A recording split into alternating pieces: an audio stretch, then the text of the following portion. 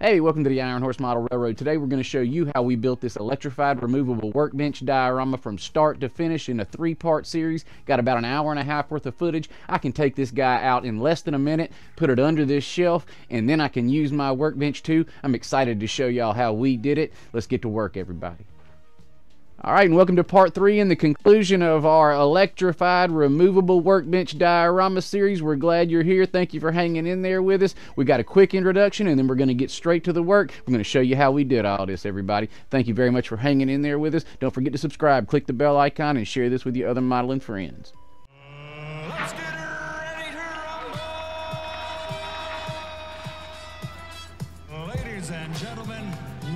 Welcome. To the Iron Horse Route, home of the Denver Rio Grande Western. This is Brian. I'm glad you're here. And if you're not already a subscriber, I want to encourage you to subscribe because when you're a subscriber here, you get access to a lot of great model railroad video uploads.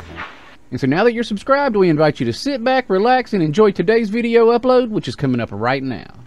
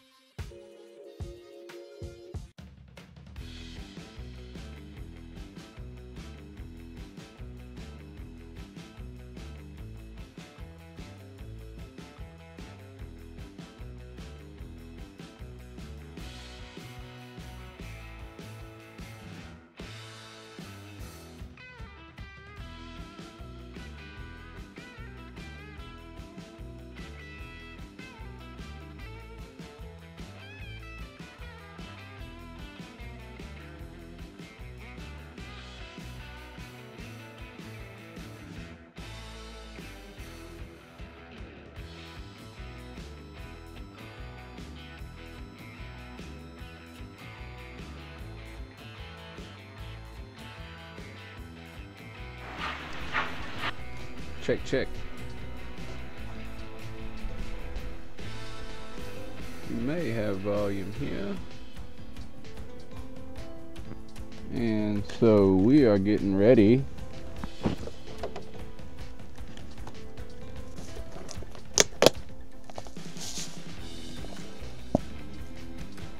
Add some ballast.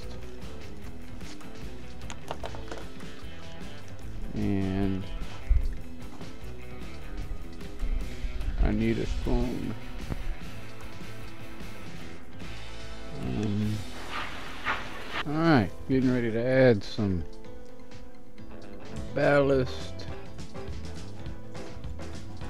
to Shakedown Street.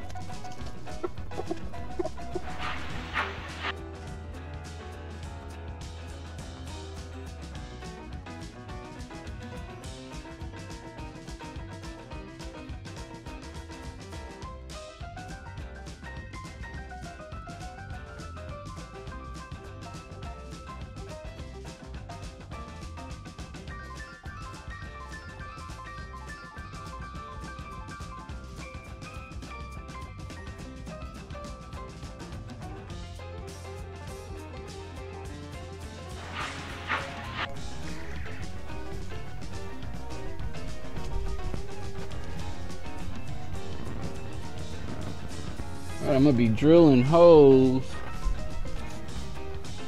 down through the road for the light poles. I don't know if this is too big or not. I'm gonna have to check on this one. Might be a perfect size. Got to get two wires through it well, but I can't be too big for my uh, poles. I don't want my poles to slide through them. Gonna put a hole here, here, here, here, here, here, here, here, and here. We're gonna need something. I don't think I'm gonna put random holes in there yet, but what I am do is I'm gonna flip it over and see where the holes are, and I'm gonna do a make a channel with my hot foam cutter underneath. I'm gonna make a channel down here and a channel down here and a channel through here all meeting up at this corner where I'll have a uh, quick plug. And so we'll have all the power for this going right here on a quick plug that'll plug into the power underneath here. So I will um, shoot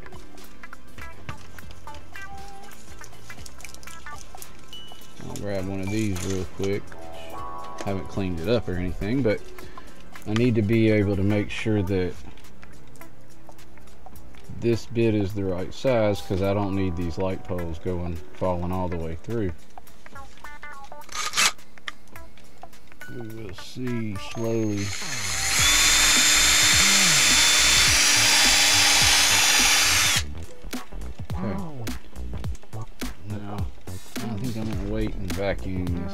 but for do need to move it now what I want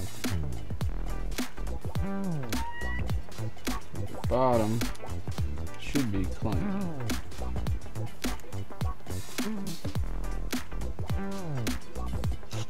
And so what I want is my light poles to be able to be glued in there.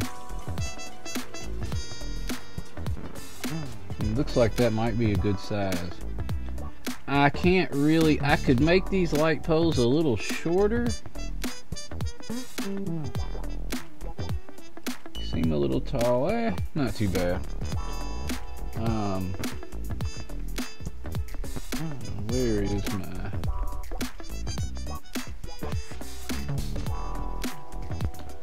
brought a bunch of stuff out here and moved a bunch of stuff around and I've lost my number 11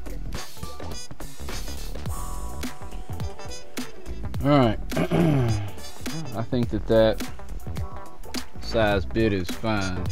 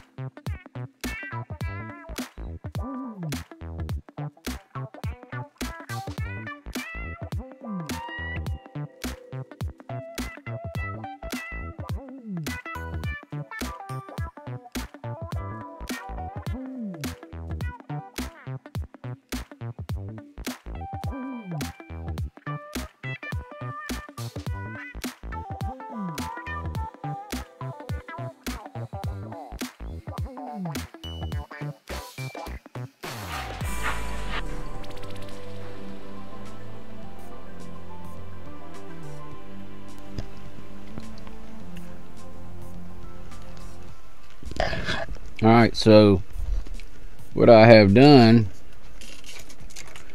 is I have created a chain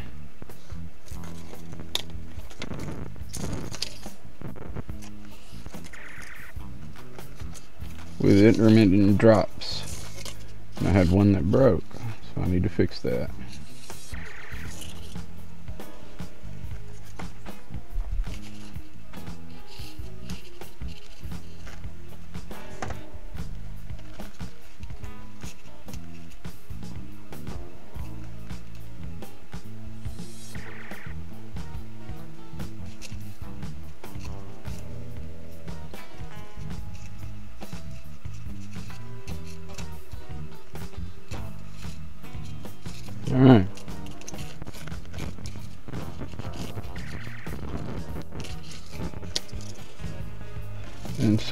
Will do is I will feed it through and back through as far as I can and then we'll take a break for the evening because this is uh, pretty tedious work right here. What I'm going to do is I'm going to drop some glue in here.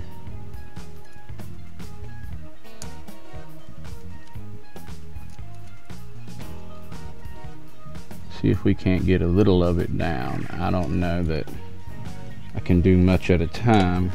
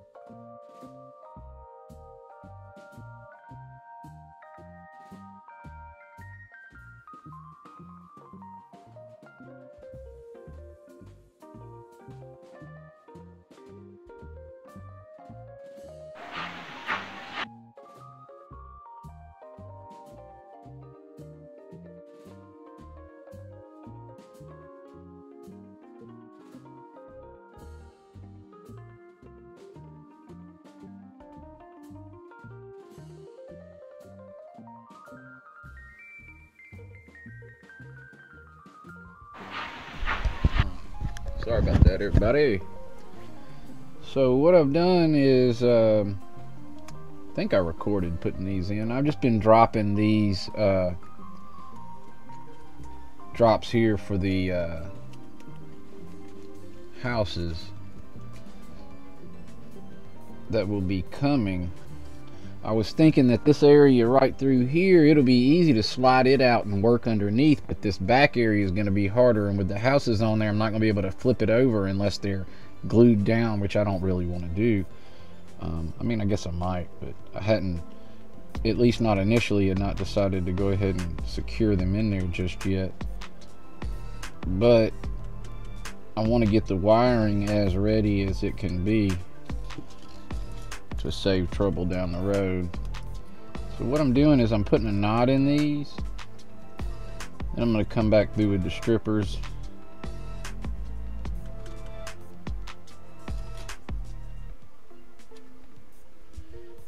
Um, strip them and then I'm going to um, just about push them down to the bottom. Once I get it tied on the other side, once I get them secured on the underneath, I'll uh, come back, untie them here, retie them much shorter, and just have them barely sticking up.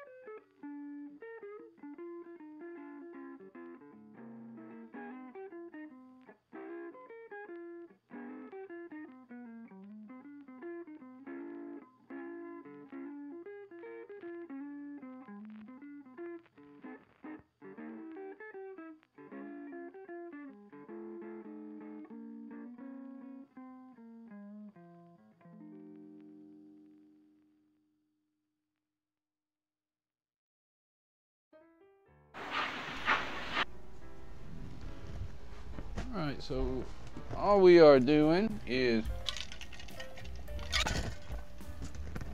cleaning everything up, getting the wires down, and we are, um, if I can find my electrical tape. I am electrical tape so the wires don't touch any, each other and short out the whole diorama.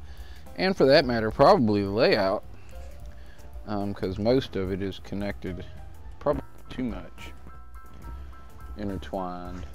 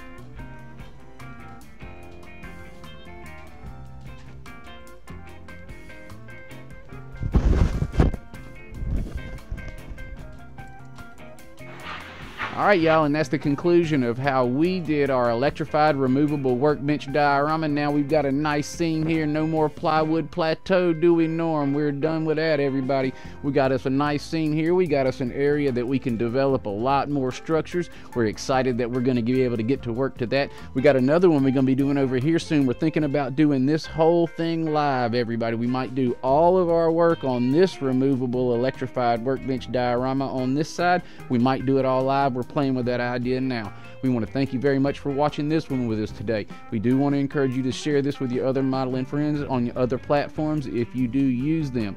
Please give us a thumbs up. Don't forget to leave us a comment below. It helps us with the algorithm. All right, we appreciate you. If you're not already a subscriber, don't forget to subscribe. Click the bell icon. Share this with your other modeling friends. Thank you very much for watching today.